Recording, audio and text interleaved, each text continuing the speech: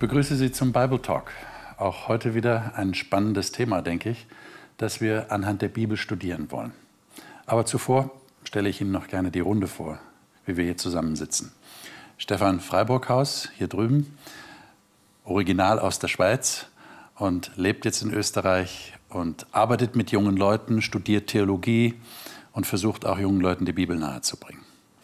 Neben ihm Cornelia Zachhuber, Lehrerin im Gymnasium für Englisch und Geschichte und im Nebenberuf auch eine Frau, die jungen Leuten die Bibel nahebringt und versucht sie mit ihnen zu ergründen. Heinz Scheidinger neben mir, Dozent für Theologie, Kirchengeschichte, Lehrer für Geschichte und Philosophie am Gymnasium, hat seine Bibel lieb und studiert sie eifrig und wir sind froh, dass du da bist. Jonathan Walter zu meiner Linken, Theologiestudent, war auf einer einsamen Insel, glaube ich, ziemlich einsamen Insel im Pazifik, um dort Leuten zu helfen, Kindern und Jugendlichen und auch Erwachsenen zu helfen. Und äh, ist gesund wieder zurück. Wir freuen uns und bringt sich hier ein, weil auch er die Bibel mag und schätzt. Ich habe einen Text zu Anfang, der uns gleich in das Thema einsteigen lässt, und zwar in 1. Thessalonicher. Das ist ein Brief, den der Paulus geschrieben hat. 1. Thessalonicher 4 und dort ab Vers 3. Und ich habe gedacht, ich lese mal ein paar Verse und dann äh, können wir da in die Thematik am besten einsteigen mit ein paar Fragen, die sich daraus ergeben.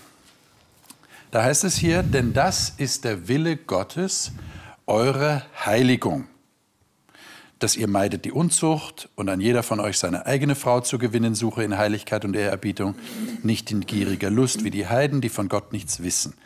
Niemand gehe zu weit und übervorteile seinen Bruder im Handel, denn der Herr ist ein Richter über das alles, wie wir euch auch schon früher gesagt und bezeugt haben.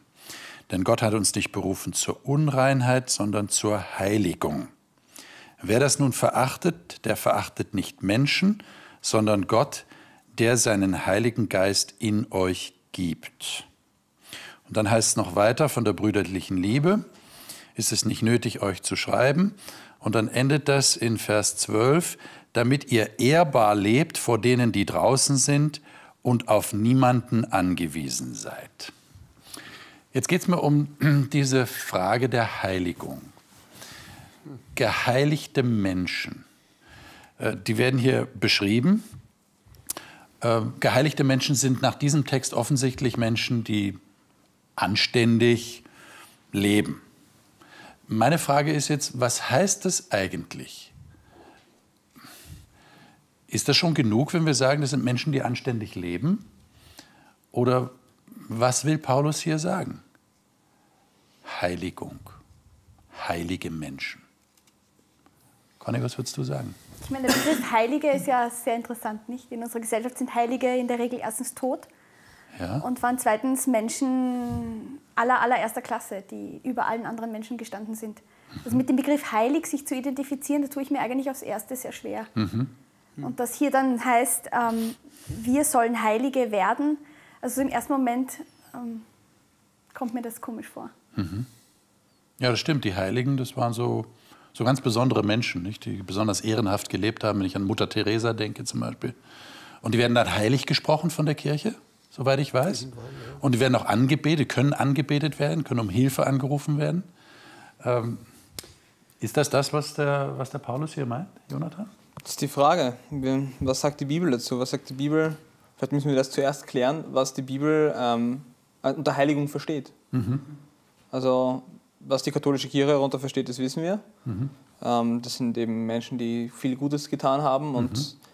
die besonders herausgehoben werden und wie du gemeint hast, dass man auch zu denen beten kann.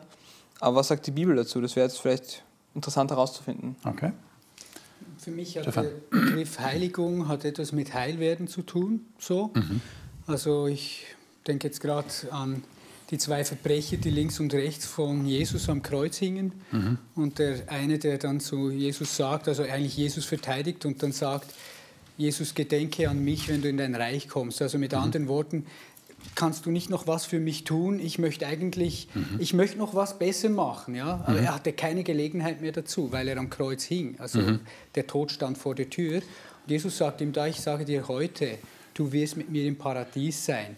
Und ich überlege mir jetzt, was wäre, wenn er nicht am Kreuz gestorben wäre, sondern vom Kreuz runterkommt mhm. und dann in diesem Leben eigentlich mhm. mit Jesus gehen möchte. Ja? Mhm. Ich meine, er hat ein Verbrecherleben geführt und jetzt möchte er es doch anders machen. Also mit heilig leben war da nicht mehr viel drin, ne? Ich glaube, im ersten Moment... Man, konnte er nicht, er ist ja dann gestorben. Nein, das sicher nicht. Aber wäre er jetzt vom Kreuz gekommen, Aha. hätte er sich wahrscheinlich auch noch recht schwer getan mit heilig leben. Mhm. Also mhm. ist jetzt einfach so der Weg der Heiligung. Ja? ja wie, wie, würdet ihr das beschreiben, anhand dessen, was jetzt Paulus hier im ersten Thessalonicher Brief sagt? Was ist denn ein Heiliger? Also beim, beim Durchlesen des Neuen Testaments vor allem wird klar, dass die Heiligen die Leute sind, die in der Gottesgemeinde leben. Mhm. Das sind die Heiligen. Nicht? Die Heiligen sind die, die sozusagen sich für ihren Gott aufbewahren. Aha. die sich also absondern von all dem, was mit diesem Gott nicht vereinbar ist und die mit diesem Gott leben, wie Paulus an anderen Stellen ausdrückt, er lebt nicht selber, sondern Christus lebt in ihm Aha. und so. Das sind Heilige. Und die leben dann auch ein, ein heiliges Leben? Die leben ein heiliges Leben in dem Sinn, dass sie eben äh, von dem Geist Gottes, der in ihnen lebt, in ihrem Leben geführt werden. Mhm. Ich, da, mhm. ich, ich denke, ähm, Heilig, Heiligung und äh, ein heiliges Leben, das hat viel mit der Beziehung zu Gott zu tun. Mhm. Da, wo Gott ist, ist es heilig. Ich hab, mir ist da gerade eingefallen, in, in zweiten Buch Mose, bei der Berufung von Mose, sagt er zu ihm, äh, zieh deine Schuhe von deinen Füßen, denn der Ort, darauf du stehst, ist heiliges Land. Da, wo Gott ist, ist es heilig. heilig ja. mhm. Wenn wir Gott in unserem Leben haben, dann haben wir einen heiligen Einfluss, mhm. der uns auch ähm, in, der, der dieser heilig Prozess, macht. der uns heilig macht, genau. Wobei ja. das immer eine schwierige Frage ist, weil, weil die, was ist heilig sündlos oder ich meine, das genau. ist immer die Assoziation, die man hat. Das was heißt das konkret? Die Beschreibung, die Paulus hier gibt, ist deutlich. Er nimmt einige Beispiele, das ja. ist ja nur pars pro toto, nicht? Das ist ein Beispiel für das ganze Leben. Und im Prinzip ist der Grundtenor von alledem, das sind Leute, die die Liebe zum obersten Lebensprinzip gemacht haben. Das mhm. wäre sozusagen der Ausfluss des Charakters Gottes, der in ihrem Leben sichtbar wird. Mhm. Mhm. Jetzt habe ich einen Text im ersten Korintherbrief, gleich am ersten, im ersten Kapitel. Und da steht, ähm, also das ist diese, diese Einleitungsformel da, Paulus berufen zum Apostel Christi durch den Willen Gottes, an die Gemeinde Gottes in Korinth, an die Geheiligten in Christus Jesus. Und in Kapitel 6, da steht dann, ähm, also äh, da fängt na ich, ich denke jetzt mal an die ersten Verse, wo steht, man soll also nicht vor, äh, man soll Dinge untereinander regeln und nicht woanders hingehen und Leute, die äh, nicht glauben, über einen richten lassen. Und dann Vers 9, Wisst ihr nicht, dass die Ungerechten das Reich Gottes nicht ererben werden? Lasst euch nicht irreführen, weder Unzüchtige noch Götzendiener, Ehebrecher, Lustknaben, Knabenschänder, Diebe, Geizige, Trunkenbolde und so weiter werden das Reich Gottes ererben. Aber ihr seid reingewaschen, ihr seid geheiligt, ihr seid gerecht geworden durch den Namen des Herrn Jesus Christus. Jetzt habe ich aber ein Problem mit Hebräer 12, Vers 14, denn da steht, jagt nach dem Frieden und eurer Heiligung. Jetzt ist meine Frage, sind wir jetzt geheiligt oder jagen wir ihm nach? Stefan, was würdest du sagen? Ja, es sind zwei Dinge. Es ist, zum einen wird ja die Rechtfertigung hier auch angesprochen im Vers 11. Ihr seid gerecht geworden ja, hm. durch den Namen des Herrn Jesus Christus. Ja. Mit einem anderen Wort, ihr seid geheiligt, ihr seid gerecht gesprochen. Das heißt, wir sind in den Bund mit Gott eingetreten. Wir haben Ja gesagt zu ihm, er sagt eh Ja zu uns. Okay. Und, und dadurch sind wir jetzt gerecht geworden. Also wenn Gott uns anschaut, dann sieht er. Und das heißt, dann bin ich heilig. In dem Moment bin ich heilig. Wenn ja, ich also Gott angenommen ja, habe und er hat mich angenommen, bin ja, ich heilig. So wie ich dann bin, bin ich. Also ich bin jetzt Gott ein Heiliger. Angenommen. Ja. Das ist unbedingt so. Ich würde schon du bist sagen, ein Heiliger. Ja. ja das ist also, unbedingt aber was so. versteht man unter Heiliger? Ja, genau. Ich meine, du bist in dem Moment der, der Verbrecher am Kreuz, ja. Du wirst mit mir im Paradies sein. Ja? ja? So wie du bist, bist du jetzt heil gesprochen, du bist gerecht gesprochen, ich nehme dich so an, wie du bist. Das heißt aber nicht, dass ich so bleibe, wie ich bin. Nein, ich möchte ja Christus ähnlich werden und darum jage ich nach dem ja, Aber meine Frage ist jetzt, bin ich ein Heiliger, weil ich in diesen Status versetzt worden bin? Oder muss ich erst Leistungen erbringen? Nein, Sprich, nein, muss ich nein, heilig leben, damit man mich als Heiligen ist, wahrnehmen kann oder damit ich heilig bin? So Darf ich da auf einen Text verweisen? Nochmal ein paar Paulus, also Paulus schreibt viel drüber. Mhm. Im ersten Korintherbrief, im ersten Kapitel nochmal, ja. Da sagt er zu den Korinthern, von ihm das ist also von Gott, kommt auch ihr her in Christus Jesus, welcher uns gemacht ist von Gott zur Weisheit, zur Gerechtigkeit. Welcher Vers war das gerade? 30. 30. Zur Heiligung also 1, Vers 30. und zur Erlösung. Mhm. Okay. Da kommt also raus, dass die Sache so ist, dass, die, dass ich gerecht gesprochen werde. Ich werde sozusagen auch heilig gesprochen in mhm. diesem Akt der Rechtsprechung. Mhm. Aber wenn es das meint, dass die Liebe Gottes zu meinem Lebensprinzip wird, dann geht das Leben ja weiter. Ich sterbe nicht jetzt in diesem Augenblick. Also muss auch die Heiligung weitergehen. Mhm. Denn jeden Tag in meinem Leben werde ich vor neue Situationen gestellt, wo ich mich fragen muss, als ein Kind Gottes, wie verhalte ich mich jetzt? Wobei das nie ein Selbstläufer wird. Weil mein Problem mit diesem Begriff heilig, in dem wie wir es verwenden, ist immer, wann bin ich so weit, dass ich gut genug bin? Ja.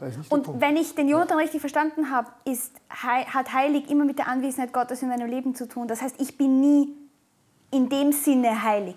Heilig ist immer ein Attribut, das sagt, Gott ist in meinem Leben. Und nie, ich bin, ich habe es erreicht. Oder, ja. Jonathan, bist du ein Heiliger? Ich denke schon. Okay. Ähm, Was, fühlst du dich als Heiliger? ich meine das jetzt ohne. Äh, ich fühle mich als Heiliger dadurch, dass ich ähm, Gott in meinem Leben habe. Ich, ich will Gott in meinem Leben haben und er okay. hat mir versprochen, dass wenn ich das möchte, er es da sein wird. Okay. Und für mich hat dieser, dieser Text äh, aus Exodus ähm, schon diese Bedeutung, dass Gott, wenn in meinem Leben ist, dann er ist heilig, wenn ich in seiner Anwesenheit bin, heiligt er mich auch er sagt ja auch hier der Paulus, äh, unser Körper ist ein Tempel des Heiligen Geistes. Mhm. Aber da muss ich mich auch als Heiliger erweisen, oder? Dann darf ich nicht mehr sündigen. Das, man, man, sollte vielleicht das denn, denn heilig sein heißt ja nicht sündigen, oder nicht? Sollte das von, Vorsicht, man sollte es von einem anderen Sprangpunkt mal betrachten. Überlegen wir uns mal, gibt es Halbheilige in der Bibel? Halbheilige. Halbheilige. Also wie die Seligen, ne? es gibt ja, ja also, Heilige. Nein, der Punkt ist der, nicht? Wenn ich also sage, heilig ist ein Attribut, das ich bekomme, wenn ich eine gewisse Leistung erbracht ja. habe, dann habe ich ein Viertel, halbe, Dreiviertel, endlich ah. die ganze Leistung erbracht, jetzt bin ich heilig. Okay. Aber das ist nie der Gedanke. Nein, nein, nein, ich bin deshalb heilig, weil ich Gott gehöre. Es gibt mhm. keine Halbheiligen. Mhm. Und als Heiliger, der ich jetzt Gott angehöre, sagt Gott zu mir, komm, jetzt gehen wir miteinander durchs Leben. Mhm. Und dieses Miteinander durchs Leben gehen wird natürlich sich so abspielen, wie Gott das möchte, weil ja er mein Gott ist und weil er in mir lebt. Und das ist die Heiligung. Das geht praktisch immer weiter. Ich bin ein Heiliger und bleibe ein Heiliger. Aber das heißt, wenn ich, aber wenn wie ich weit jetzt, ich schon gekommen bin. Richtig. Aber wenn ich jetzt Sünde tue, dann, dann bin ich in dem Moment nicht heilig, sondern werde dann wieder Der heilig? Der Punkt ist, dass auch ein Heiliger in Sünde fallen kann. Aber Vielleicht dann ist er nicht man, heilig. Das muss man mal so ausgesprochen haben. Es gibt einen, den Aufruf. Die Bibel im Neuen Testament macht uns den Aufruf. Äh, Johannes sagt es in seinem ersten Brief im zweiten Kapitel. Vers 1. Dies schreibe ich euch, damit ihr nicht sündigt. Mhm. Wenn aber jemand sündigt, haben wir einen Fürsprecher. Das heißt, der Heilige soll sich als Kind Gottes betrachten und ihm nachfolgen. Das heißt aber nicht, dass ihm nicht in seinem Leben etwas passieren kann. Und wenn ihm was passiert, dann hat er wiederum den Weg, den alle Menschen haben, die ihre Sünden vergeben haben wollen. Er kann sich an Gott wenden, an Jesus und um Vergebung seiner Sünde bitten. Aber er ist ein Heiliger, weil er Gott gehört. Wenn man Heiligsein ein- und ausschalten könnte, das wäre ja furchtbar. Ja. Das wäre furchtbar. Das hätte ja dann wieder nur mit mir zu tun. Aber ich glaube, genau in diesem Bewusstsein des Heiligseins, so wie es der Jonathan vorher schön gesagt hat, ich glaube schon, dass ich heilig bin. Mhm. Ich meine, wenn wir lesen in Römer 5, Vers 1, da heißt es, da wir nun gerecht geworden sind durch mhm. den Glauben, mhm. haben wir Frieden mit Gott durch unseren Herrn Jesus Christus. Für mich liegt darin und in dem Gedanken, dass ich heilig bin, dass ich bei Gott angenommen bin, dass er mit mir ist, dass er in mir wohnt. Ja? Das ist eine riesige Kraft, das ist eine riesige Freude, das ist eigentlich die Kraft des Evangeliums. Ich, ich stimme zu, ja? vielleicht sollten wir eines nochmal äh, gut äh, voneinander unterscheiden, obwohl es ja zusammengehört. Die eine Sache, wenn du Römer 5, äh, 1 zitierst, ist, dass ja dort die Rechtfertigung ja, angesprochen wird. Nicht?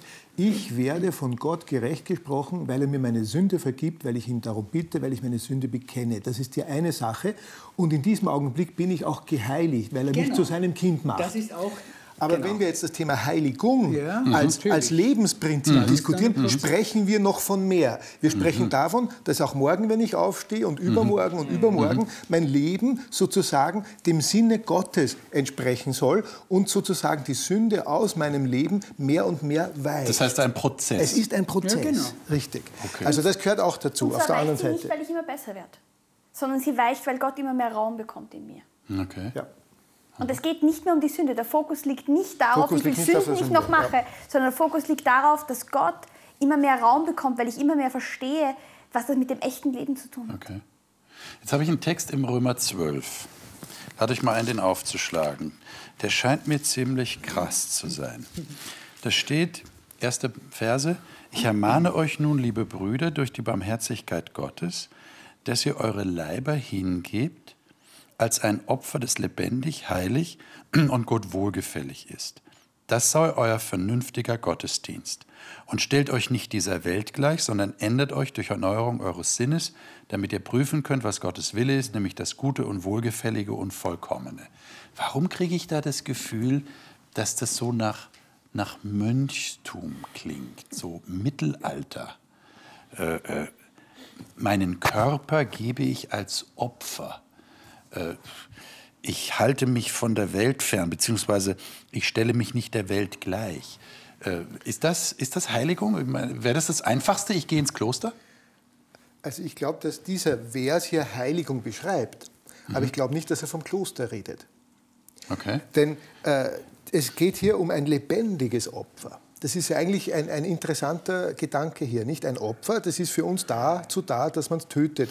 Und in dem Sinn würde ich auch meinen Leib töten, nicht? Und würde das alles zum Opfer geben. So in dem Sinn versteht man das. Mhm. Aber das ist hier nicht gemeint.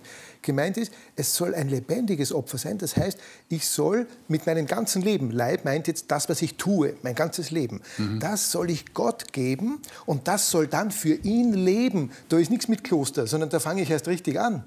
Das ist nichts mit Abgeschiedenheit. Und trotzdem okay. heißt es, und stellt euch nicht diese Welt gleich. Ja. Und ich denke, ja. für mich persönlich, als ich zum Glauben kam, ja. hat schon auch ganz wichtige Dinge, musste ich wichtige Dinge einfach sein lassen.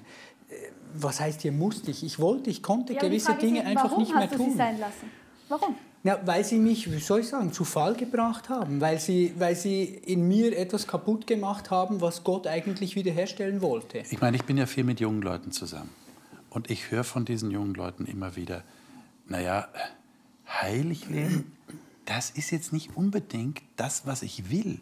Da muss ich ja auf das verzichten, mhm. auf das mhm. verzichten, auf das genau, verzichten. Das und das darf ich nicht machen und das darf ich nicht machen. Da habe ich ja keine Freude mehr am Leben. Und das ist natürlich, mhm. das scheint das auszudrücken. Mhm. Gib ein Opfer. Und ich kenne Christen, die sagen, naja, also wenn du zu Gott kommst, dann wird erstmal alles besser und Jesus ist dein mhm. Freund und das ist alles wunderbar und du wirst einen völlig neuen Inhalt in deinem Leben finden und es ist alles positiv. Und dann komme ich mit diesem Text, du musst dich aber als Opfer geben. Und da sagt mir so ein junger Mensch, hatte ich eigentlich nicht vor. Was ja, machen wir jetzt damit? Ich meine, Jonathan, entschuldige. Ja, also ich muss sagen, bei mir war das auch so. Ich habe auch immer wieder gehört, ja, dann, wenn du mit Jesus lebst, dann ist alles super und, und äh, du willst dann nicht mehr diese Dinge tun. Und für mich hat das immer sehr, hatte ich das eher komisch angehört. Und, und ich dachte mir, okay, was geht ab?